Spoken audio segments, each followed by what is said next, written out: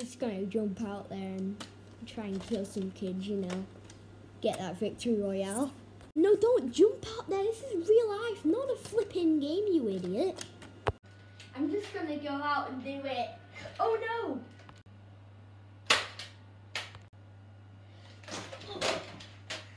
No, mate! Oh, he's an idiot anyway.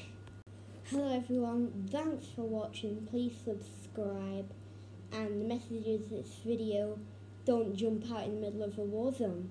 Maybe just don't put an idiot in World War II because you know you're going to lose a soldier. But anyway, hope you're safe in Corona. If you're in quarantine, I'm sorry. But just peace.